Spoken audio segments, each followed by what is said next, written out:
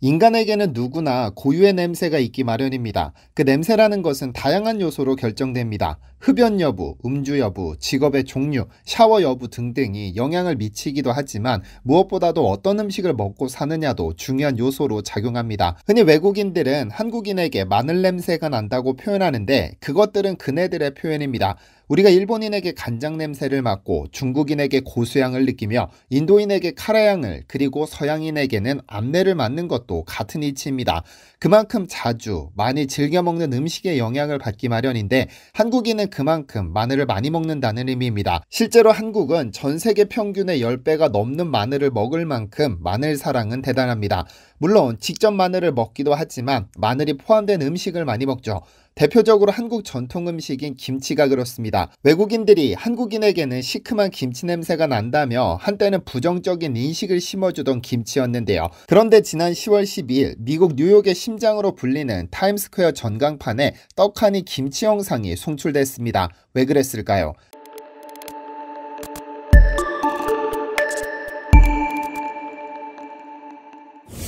안녕하세요. 디스멘터리입니다. 어느 국가를 가든 어느 지역을 가든 그 국가 또는 그 지역에서만 볼 수 있는 식물 또는 그 식물을 이용해 만드는 전통 음식이 있기 마련입니다. 식물이 모든 곳에서 자랄 수 있을 것 같지만 또 그렇지 못합니다. 기후, 강수량, 일교차 등 다양한 요인에 의해 식물의 생존 여부가 결정되니까요. 대표적으로 페루에는 마카라는 뿌리 식물이 있습니다. 완벽한 영양의 보고라는 의미로 많이 언급되는 식물인데 이 식물은 특이하게도 해발 4,000m에 이르는 안데스 산 맥의 고지대에서 일교차가 35도가 넘는 극한의 기온에서 만 자랍니다. 이렇게 극한의 환경에서 자라기 위해 마카는 땅속의 모든 영양분을 빨아먹기 때문에 마카를 재배한 자리에서는 약 3년에서 5년간 다른 식물을 키울 수 없습니다. 마카가 땅속의 모든 미네랄과 영양소를 흡수했기 때문에 땅의 기운, 즉 지기가 전부 빠져서 그러한데 이 흡수력 덕분에 마카에는 31가지 미네랄과 필수 아미노산 등 다양한 영양 성분을 함유하고 있죠. 그런데 안데스 산맥에서만 자생하는 마카는 잉카 제국의 등장을 불러왔습니다. 잉카 제국은 세계 7대 불가사의 중 하나로 불리는 마추픽추라는 공중도시를 건설했는데 화약이나 바퀴, 철 등이 없었던 그 시절에 20톤이 넘는 돌들을 전부 산꼭대기에 옮겨와 도시를 만들었습니다. 그런데 잉카 제국이 등장할 수 있었던 배경에는 마카가 있었다는 이야기가 페루인들 사이에 남아 있습니다. 왜냐하면 잉카 제국 등장 전 남미에는 수많은 나라들이 존재했으나 전부 잉카 전사와의 싸움에서 패배, 잉카 제국으로 수렴했는데 당시 잉카의 왕이 강한 전사를 키우기 위해 모든 병사들에게 안데스 산맥에서만 자라는 마카를 복용시켰습니다. 강한 전사의 조건이 지치지 않는 체력, 강한 전투력, 적을 두려워하지 않는 대범함, 이길 수 있다는 자신감이라고 보았을 때 잉카의 병사들을 전사로 만든 것은 마카의 영향이 컸을 겁니다. 땅속의 모든 영양분을 흡수하고 자란 마카의 강인함이 강한 전사를 만들어냈다는 것이 페루인들의 말 속에 담겨 있겠죠. 그런데 실시간으로 전 세계 모든 것들이 공유되는 현대 시대에 그 국가만의 정체성을 갖는다는 것은 상당히 어렵습니다만 다행히 한국에는 정체성을 대표하는 음식이 존재합니다. 바로 김치입니다. 마카가 페루라는 국가를 대표하는지는 모르겠으나 김치는 한국이라는 국가를 대표합니다. 그래서 먹지는 않더라도 밥상에 김치가 빠지면 심기가 불편한 사람들이 많은데 한국인의 피를 가진 민족들은 저번 러시아에서도 한국인들은 먹지 않는 김치를 만들어 먹기도 합니다. 1900년대 초반 스탈린에 의해 중앙아시아로 강제로 이주당한 조선인들은 주로 함경도와 평안도 지방 사람들로 알려졌습니다. 이 지역은 주로 배추김치보다는 무김치를 주로 만들어 먹었는데 중앙아시아로 강제 이주 후 무와 가장 비슷한 것을 찾다 당근을 사용해 김치를 만든 것으로 알려졌습니다. 척박한 환경에서 구할 수 있는 가장 비슷한 것으로 전통을 이어갔던 것이죠. 현재 러시아인들이 러시아 전통 음식이라고 생각하는 마르코프 차인데 이는 당근을 뜻하는 러시아와 마르코프에 반찬을 뜻하는 한국어 채를 붙여 만든 이름입니다. 쉽게 말하면 당근 김치, 당근채 정도로 부를 수 있죠. 의외로 기름진 러시아 음식과 궁합이 잘 맞아 즐겨 먹던 마르코프 차는 에스토니아나 라트비아, 리투아니아 등 발트 3국에서도 즐겨 먹는다고 알려졌습니다.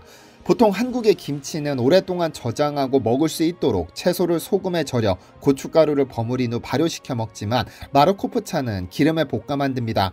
한국에서도 집집마다 배추김치를 만드는 방법이 조금씩 다르듯이 마르코프차를 만드는 방법이 조금씩 다르지만 큰 틀에서 벗어나지는 않습니다.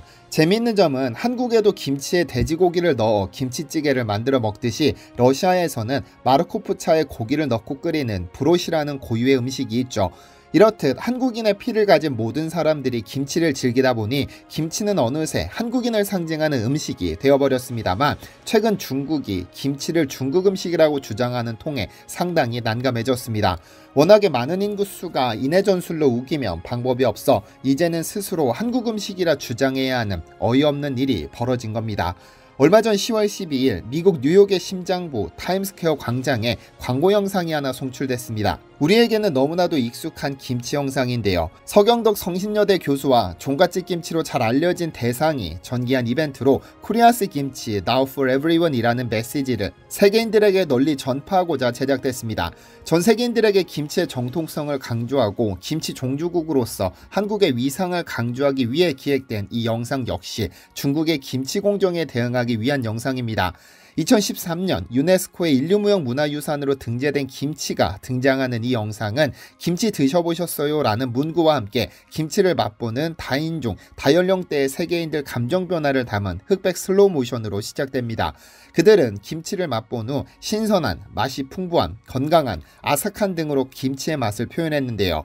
앞서 대상은 미국 뉴욕 타임스 지면에 광고를 게재해 김치는 당연히 한국 음식이라며 김장 문화가 2013년 유네스코 인류 무형문화 유산으로 등재됐고 역사적으로도 김치는 수천 년 동안 한국과 한국 문화를 대표해온 상징적인 음식이라고 강조하기도 했는데요. 그런데 수천 년 한국을 대표해온 김치가 중국의 지저분한 주장에 노출되어 그 위상에 흠이 가기 시작했습니다. 사실 김치는 소금에 절여 보관한 형태의 발효채소 음식 정도로 해석할 수 있을 겁니다. 그리고 이를 이렇게 단순히 해석하면 전 세계 그 어디에서도 원료를 찾기는 쉽지 않습니다. 이렇게 소금에 절여 보관한 형태의 채소는 전 세계 곳곳에서 찾아볼 수 있으니까요. 중국인들은 절임 채소를 의미하는 절라는 단어가 중국 문헌에 등장했다는 것으로 중국 원료서를 주장하지만 단순한 채소 염장 음식에 대한 기록은 고구려부터 시작했다는 문헌도 있습니다.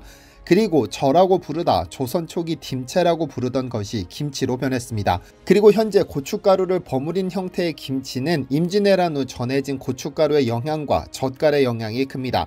만약 단순히 절임 채소류의 모든 음식을 중국의 것이라고 주장한다면 일본의 츠케모노나 독일의 사우어크라우트는 물론 모든 피클까지 중국 것이라고 주장해야 맞습니다. 왜 김치만 가지고 이렇게 집요하게 물고 늘어지는지 도저히 알 수 없는 일입니다. 중국에서 지속적으로 김치라고 주장하는 것은 파오차이라는 일종의 피클입니다. 중국식 향신료를 넣고 끓인 물에 채소를 절이는 형태죠. 제조 방식이 다르고 그 모양이 다르고 재료가 다릅니다. 그럼에도 중국은 끊임없이 자신들이 김치 원조국이라는 주장을 내놓고 있습니다. 사건의 시작은 지난 2020년 11월 26일입니다. 이날 중국 시장 감독관리 총국의 기관지 중국 시장 감관보는 11월 24일 중국 스촨성 서남부 메이산시 특산 품인 스촨 파오차이가 국제 표준화기구로부터 국제 표준 인증을 받았다는 내용과 함께 스촨 파오차이가 ISO의 국제 표준 인증을 받아서 국제 시장에서 지명도가 높아질 것이라는 예측을 내놨습니다. 사실 ISO는 비정보기구로 누구나 표준 신청을 할 수. 있으며 국제 시장 마케팅에 도움이 될 것이라는 기대감을 갖고 신청서를 냈는데 ISO가 ISO 24220 파우차의 염장 발효 채소 규격 및 시험 방법을 국제 표준 으로 제정했습니다. 그러나 문제는 그 이후 중국의 대응입니다. 중국 공산당 기관지 환구시보는 이 보도를 인용하며 작성한 기사에서 한국 김치의 굴욕이라는 자극적인 제목을 달았습니다. 그저 스촨식 파우차이가 표준 인증 받은 것을 두고 마치 한국식 김치 표준 인증을 받은 것처럼 사실을 왜곡해 버린 것이죠. 물론 ISO 인증 문서에도 이 표준은 김치에 적용되지 않는다고 명시하고 있지만 이러한 사실은 중국에게 그리 중요하지 않았습니다. 뿐만 아니라 유튜버까지 나서서 김치를 중국 음식이라 주장하기 시작했죠. 구독자 수 1700만 명이 넘는 대형 유튜버 리즈치는 중국의 농촌을 배경으로 활동하는 유튜버로 중국의 여러 지역 음식을 요리하는 모습을 영상으로 제작해 큰 인기를 끄는 인물입니다. 그녀는 2017년 12월 김장하는 모습을 영상으로 제작해 국내에서도 큰 논란이 있었습니다. 심지어 중국 연변 조선족들의 전통 음식인 것처럼 언급하면서 한국에 대한 내용은 쏙 빼뒀죠. 2021년 1월에는 김치를 이용해 김치찌개를 만드는 영상을 올리면서 한국의 전통 음식이라는 설명은 하지 않고 중국 음식, 중국 전통 음식이라는 식으로 해시태그를 달았죠. 물론 저러한 영상 하나로 평생 먹을 욕을 일주일 만에 전부 먹기는 했습니다. 잠시라도 한눈을 팔면 어느새 한국의 김치가 중국식 파오차이의 일종으로 바뀌어 있을지도 모르는 일입니다. 이에 우리 정부는 지난 2021년 7월 22일 공공용어의 외국어 번역 및 표기 지침 개정안을 시행하면서 기존 훈령에서 김치의 중국어 번역 및 표기 용례로 제시되었던 파오차이를 삭제하고 김치의 중국어 번역 및 표기를 신치로 명시했습니다. 앞으로 우리도 파오차이가 아닌 신치라고 불러줌으로써 김치와 다름을 반드시 인지하고 있어야 합니다. 최근 젊은 세대는 김치를 잘 즐기지 않는다는 이야기가 있고 또 일부는 음식 문화야 서로 공유하는 것인데 굳이 중국과 외교 마찰을 빚으며 경제에 타격을 줄 필요가 있냐는 이야기를 합니다. 그러나 역사를 잊은 민족에게 미래가 없듯 문화를 잊은 민족에게는 정체성이 없습니다. 아무리 전 세계 모든 것들이 실시간으로 공유되고 그 경계선이 모호해졌다 하더라도 지킬 것은 더 확실히 지켜낼 줄 아는 것이 진정한 선진국이 아닐까요? 디시멘터리에서는 여러분의 제보를 기다립니다. 제 채널에서 다뤘으면 좋겠는 뉴스 또는 널리 알려졌으면 하는 영상은 디시멘터리 네이버 닷컴으로 보내주시면 소중히 제작하겠습니다. 시청해주셔서 감사합니다.